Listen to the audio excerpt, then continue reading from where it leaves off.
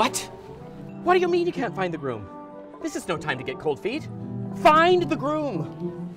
Such a fabulous wedding. I don't care if the flower girl is drunk. Find the groom! Oh, is everything okay?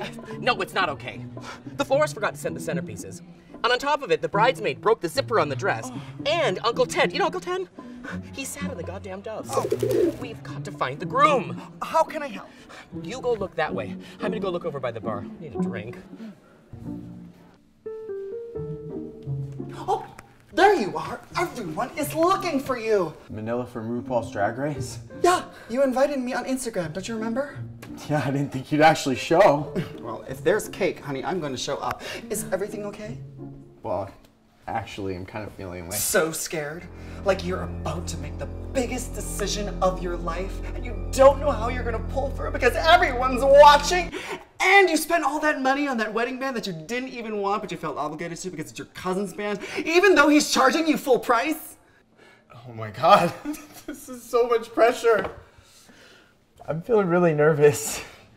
Like my husband always says, nervousness is like the same feeling as excitement.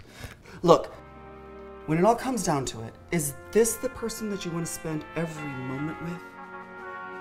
Yeah. Is this the person that you want to have your back even when things don't go the way you expect? Yeah.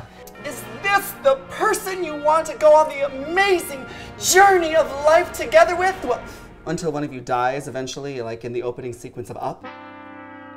Yeah! Honey, here you are. Is this the person you were talking about? Yeah. Well, marry him. He's hot. Is everything okay?